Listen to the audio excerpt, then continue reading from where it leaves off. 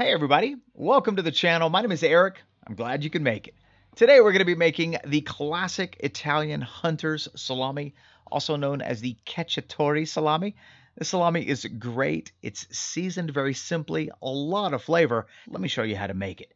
We're going to be using all pork for this recipe, but feel free to mix it up if you have some venison or if you have some beef that you want to add, you just want to try to have a 30% fat to 70% lean. Pork shoulder kind of already has that naturally, so you don't have to do anything too special to it. So the first thing we're going to do is get our meat prepared for the grinder. And depending on the grinder that you have, will inevitably determine how you process your cuts. If you have a large grinder, like a number 22 or a number 32, then you can make long strips like I'm doing here because the motor is generally strong enough to grab it and pull it through without it bogging down.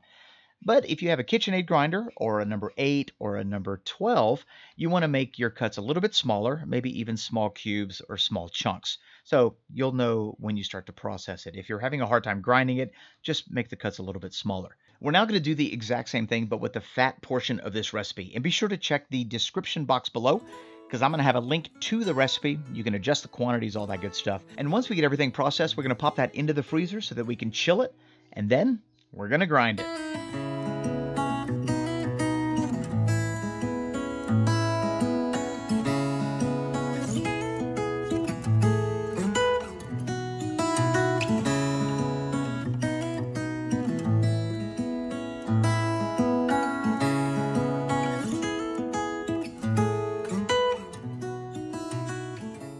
Our meat's been ground on a six millimeter plate. It's nice and cold, and we're now going to add some of our spices. And the profile for this particular recipe is really simple. Salt, sugar, pepper, cure number two. Um, nothing too complicated. We have some garlic and wine that's uh, been sitting on the counter for about five or six hours. We're going to add that to the meat.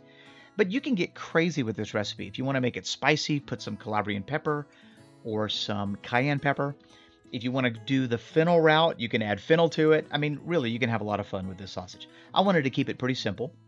And once we get our spices and our wine and garlic mix, I'm just going to put that into a separate bowl, cover it, and refrigerate it. We want this to rest in the refrigerator overnight. So we're going to pop that in the fridge and that's going to help develop its flavor, extract some protein, and the next day, it's now time to finish our salami. So the first thing we're going to do is prepare some mold. Now this is optional. Technically, you don't need to do this, but if you do this, you're going to almost guarantee that you're not going to have any unwanted bad molds grow on your salami. So we're just going to prepare that mold culture first thing in the morning. We're also going to prepare our starter culture. This is a fermented sausage, and we ferment our sausage by using beneficial bacteria that produce lactic acid. Now, you could do it naturally if you know how to do that, or you can buy a commercially obtained starter culture like this one called Flavor of Italy. We got that through the sausage maker. And it's going to add the beneficial bacteria that you need, which is going to guarantee proper fermentation and a safe product. So we're just going to mix that in with a little bit of water and let it rehydrate for about half an hour. The last thing we're going to prepare is our casing. We're using 61 millimeter casing protein lined. So by far probably my favorite casings to use. This is also from the sausage maker and we're just going to let those soak for about 15 minutes in some lukewarm water.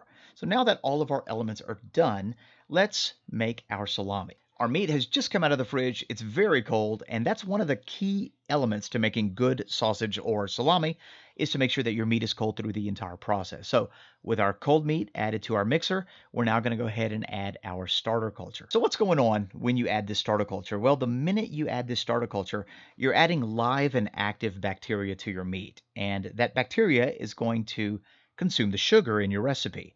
All the while, it's going to produce lactic acid, lowering the pH, giving you a safe product that's inhospitable to bad bacteria. You're going to mix your meat until it's super sticky, just like that. And once it's sticky, it's time to stuff it into your casing.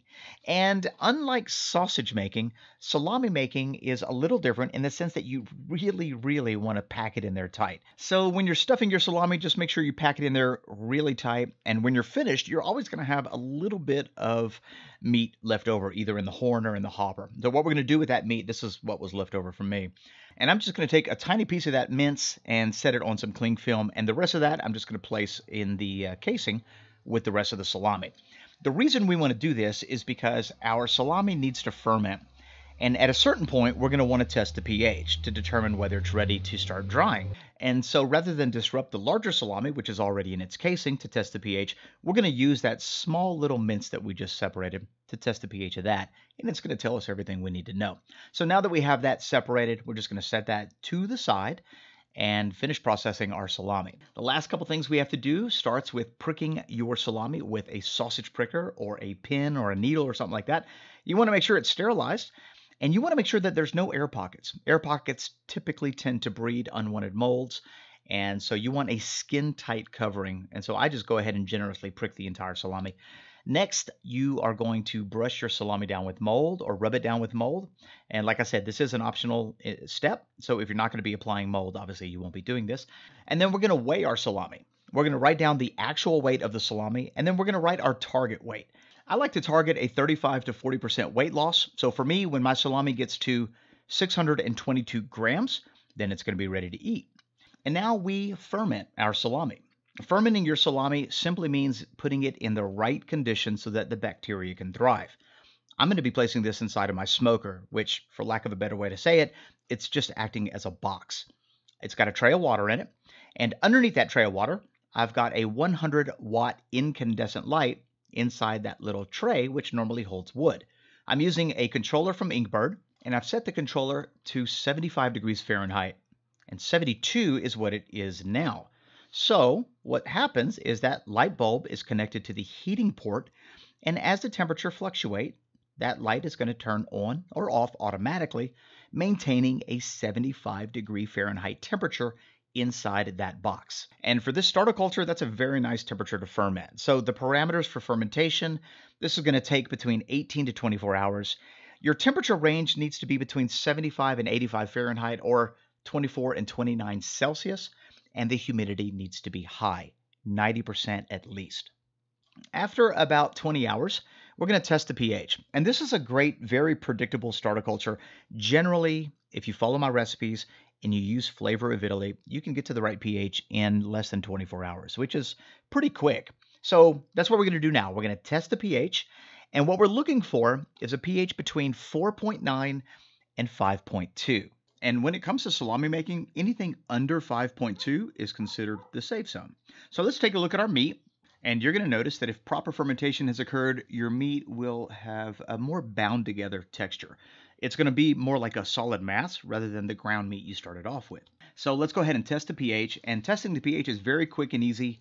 Uh, we're using an Apera Instruments pH meter, and all you do is you stick that into the meat and wait till the meter gives you a stable reading. For Apera Instruments, the stable reading is indicated by a smiley face on the screen. And we got our smiley face, and it looks like my reading is 4.98, well within my range. And so now it's time to start drying. So we're going to take our salami out of the fermentation box and place it into a drying chamber. Now, this is simply a modified refrigerator where I get to control the humidity and the temperature. If you have a relatively cool area in your home with high humidity, you can place this salami in there, which is the way it was traditionally done. So this is our drying chamber, and if you want to see how we built this drying chamber, be sure to check out that link in the top right hand corner. At this point, we're just going to close the door and allow our salami to dry. This particular process takes anywhere between six to eight, maybe even 12 weeks, depending on the diameter of your salami casing. In our case, 61 millimeter normally takes me about 60 days. The temperature inside this drying chamber is an average of 55 degrees Fahrenheit or 13 degrees Celsius, and the humidity is going to stay at an average of 80%.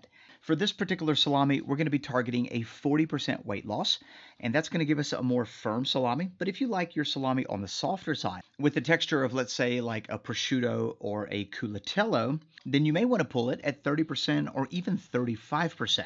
Either case, once you get to 30%, you can start tasting your salami, and as soon as you're pleased with the results, your salami is finished. Personally, I like a more firm salami, so I tend to let mine go to 40%. Our cacciatore salami has been in the drying chamber for about 60 days. When I squeeze it, it feels uniformly dried throughout. That means that the outer edge of the salami feels the same as the center. If your humidity in your drying chamber was too low, or if you had too much airflow, then an outer ring can form on your salami, and that's typically called dry ring. And dry ring happens when the outside of your salami tends to dry faster than the inside. Under most circumstances, dry ring isn't that big of a deal, but if you are getting a dry ring in your salami, then you definitely want to go back and check your humidity settings or the airflow inside your chamber so that you can try and produce a salami with no dry ring. In a later video, we'll cover some of the most common problems associated with salami making, how to troubleshoot them and overcome them so that you can take your salami making game to the next level. Let's take the casing off of the salami, slice it up, and see what it tastes like.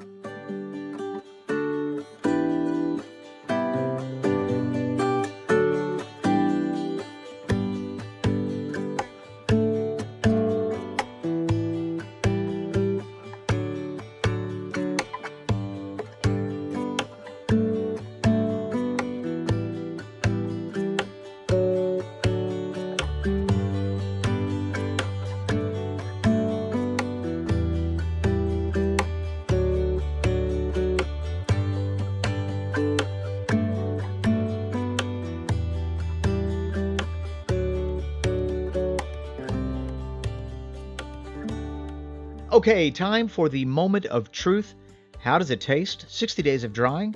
It looks great, so we got nice marbling. It's bound together well. When we tug it, it doesn't, you know, rip pretty easy. And that means we got a nice bind during the mixing stage.